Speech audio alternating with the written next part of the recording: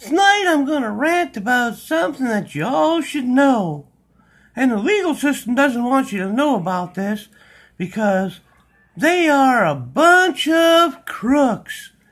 They are a bunch of corruption puppets controlled by a bunch of yo-yo judges who think they can dictate a law that doesn't exist. So let's see what's going on. There's a little devil. There's a brainwashed tooting chicken. And they are lawyers. They are lawyers that work for a system that are so, they are supposed to protect you, but instead what do they do?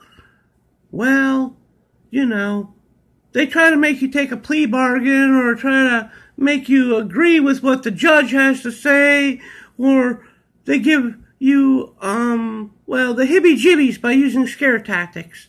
And guess what? It doesn't work for everyone.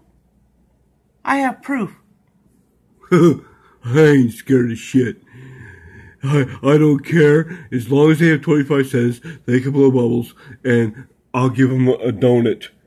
Because all bipolar bacon babies with badges are corrupt, and they never show up until after the crime is over. And then they charge people with stuff that they never ever witnessed themselves, but they are the lead witness which already makes this, um, well, not real. They're fake, okay? Yes, you must watch this video. You will learn something. And remember, always follow the eagle. So anyway, I was watching some channels tonight and I noticed something about a lot of them. The police are corrupt. And that's why we have this guy in our mind and this guy in our mind. Because, well, let's put it simply, the police are corrupt. They make up laws as they go. They threaten you and try to push you from saying what you really want to say. And they try to take away your freedom of speech. Freedom of speech? You want to take away my freedom of speech? You want to tell me the Constitution doesn't matter? I got news for you, you assholes. The Constitution is the law. The Constitution was set forth by my forefathers. My forefathers set this forth to make sure that the government didn't take over the people. Or should I say currently the sheeple. Because people act like sheep. And they praise the police, praise them for the things they do to other people. And when they kill an innocent person and they justify it with a whole bunch of made up stories, it's okay. Well, let's say this. It's not okay. And I'm done with it. I dealt with a couple of people recently who the police continued to attempt to identify. They wanted their ID. And the people were smart enough to know the law and say, I'm not giving your ID, my ID, because I did not commit a crime. But the police attempted and attempted and attempted to get their IDs. What's an ID gonna do? If they committed a crime, you'd have them in handcuffs, you asshole. You don't just go out and say, I want your ID. Who the fuck do you think you are? You know who I am. You all know who I am. You've all traced my IP address. You've all dealt with me. And you know I don't tolerate the bullshit. So I'm gonna start a new saga in my story. And I want you to try to take it from me.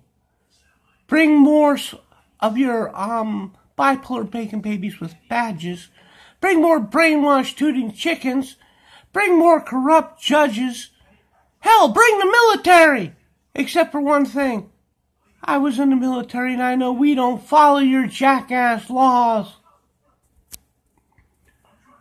So, when a cop comes up to you and asks you for your ID, if you haven't committed a crime, tell that cop to go kick rocks. He doesn't have a right to ask you for an ID. You have to be suspected of a crime before you can be fucking pulled over and said, Give me your ID.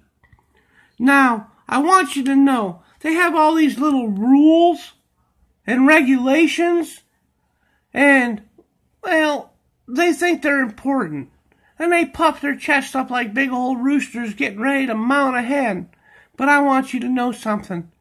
All the rules and regulations don't mean shit. If it's not law, they cannot ask you for an identification. You must break a law. And they cannot make up a bunch of laws as they go. They don't want you to know this. And you see how dark my eyes are tonight? That's because I'm thinking. I'm thinking about those bipolar bacon babies being sliced up into delicious hunks of slab bacon. And they know exactly what I mean. I gotta tell you something.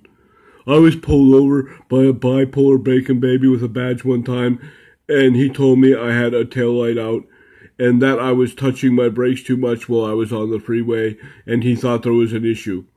I never touch my brakes. I don't have a tail light out. And then he attempted to say he smelt marijuana in my vehicle because I wouldn't fold. I got news for you. I don't smoke marijuana. I would like to smoke marijuana, but I can't afford it, so I don't smoke it.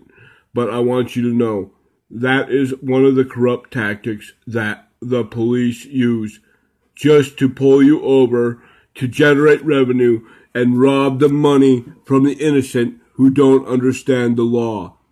It's time, people. It's time you start listening to Bubbles.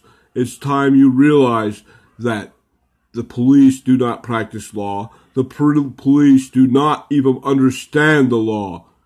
They just go by a bunch of rules and regulations, which are not law, and they file citations, which is not a crime against you. You don't have to give them shit. So say it to Bubbles. That's my alter ego. So there you go, ladies and gentlemen. Let's keep this one going. I think we could keep this one going for a long time because I've dealt with the system and I'm 19 and 0, pro se. I do it by myself. I don't need any help because I understand the laws, the regulations, and the regulations aren't laws. I understand the Constitution, and that's all that matters. So if you don't like what I say, unsubscribe. Go fuck yourself. Have a good night, everyone. Bye.